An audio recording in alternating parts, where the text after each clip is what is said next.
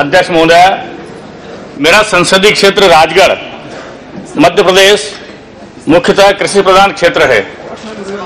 यहाँ की 70 प्रतिशत आबादी कृषि कार्य पर ही आधारित है। क्षेत्र में गेहूँ, चना, मक्का, प्याज, लहसुन की खेती के साथ साथ सोयाबीन, धनिया, संतरा, आंवला एवं सीताफल का भी उत्पादन प्रमुखता से किया जाता है। किंतु इनके समुचित रखरखाव एवं संग्रहण की समुचित व्यवस्था नहीं होने से अधिकांश मात्रा में बर्बाद हो जाती है, जिससे किसानों को काफ़ी नुकसान उठाना पड़ता है।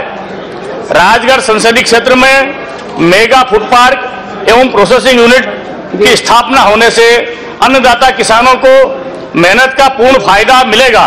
साथ ही इन उत्पादों का नुकसान होने से भी बचाया जा सकेगा।